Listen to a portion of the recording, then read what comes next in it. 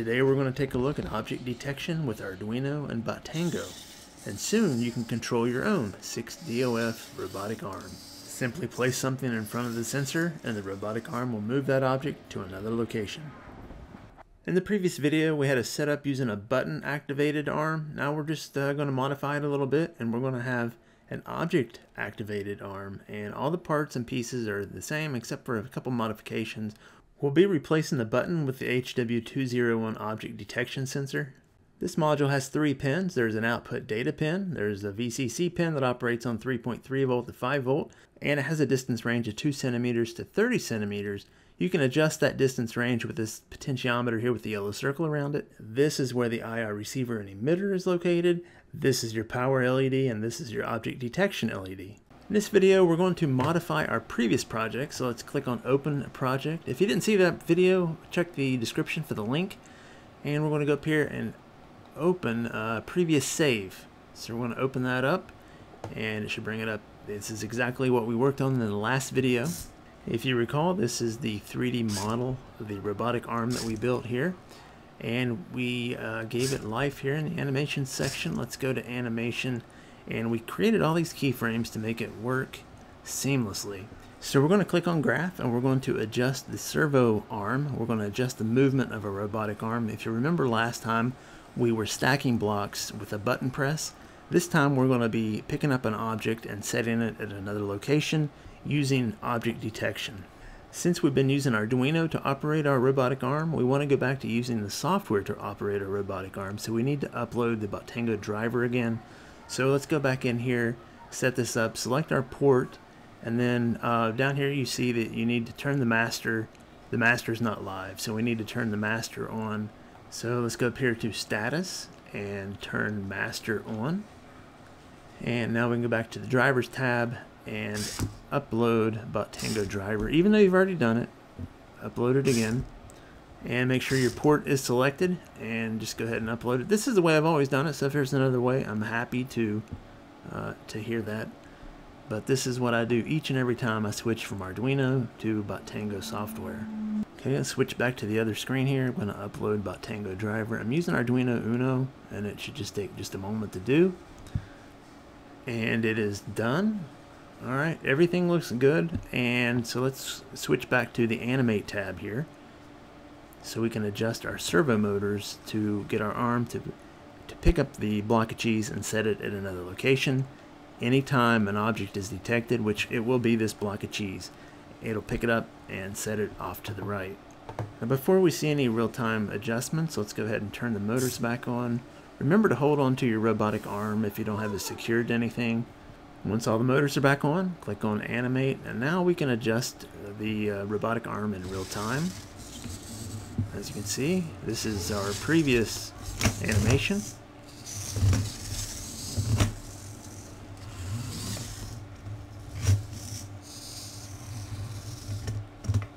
Before we create our new animation, I'm going to set the object, which is a piece of cheese here, a flexible cheese, so that it's easy for the gripper to grab.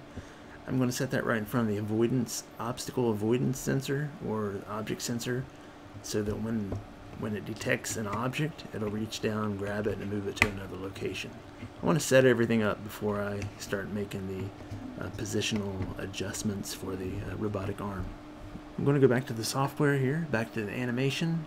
I'm going to select graph, and I'm going to work with one motor at a time, and I'm going to adjust this graph in one second increments would probably be best.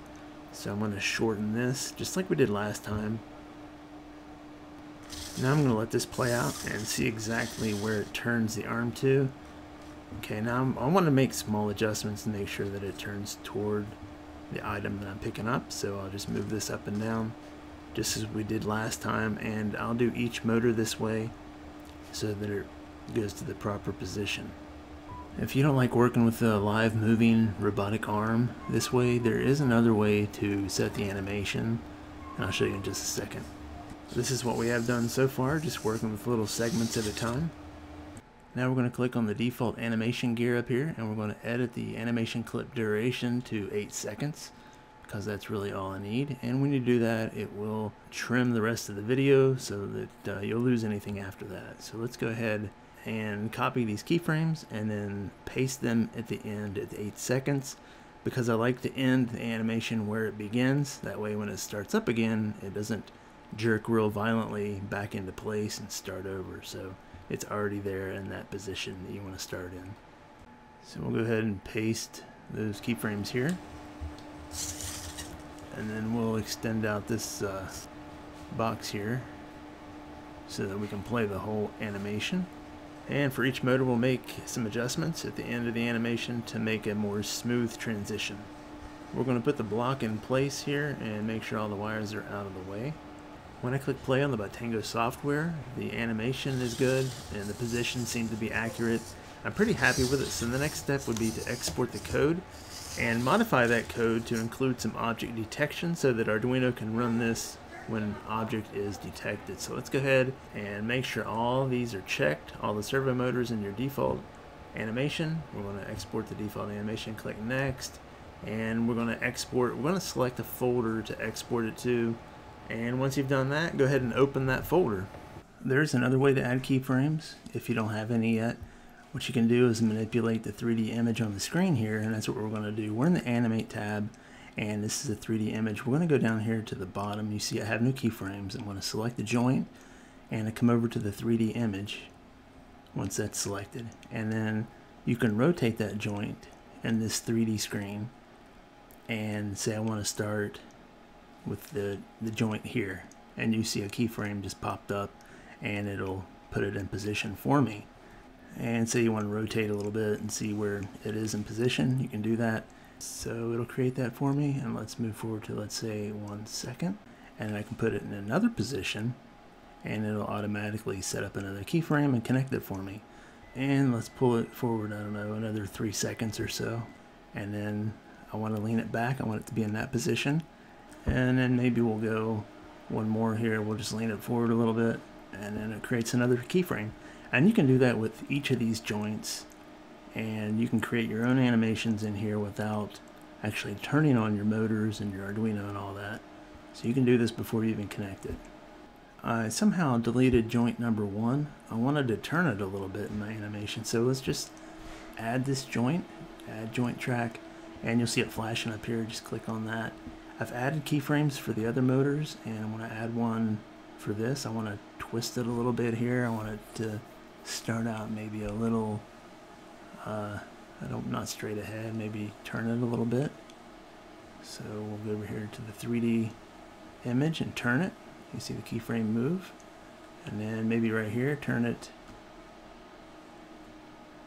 turn it a different direction and you see how it's connecting it's connecting the keyframes for me here creating the animation it's just another way to create the animation a little bit easier, I guess, for some people, but I, I do like to watch the actual robot arm do the work, so whatever you prefer, but this is a way. Okay, we're in the folder. I, I downloaded this zip file for the previous video, and I went ahead and copied it into this folder. I'm going to extract all, and here you can see the three files that were exported from Bottango software, and these two files are just Bottango animation files.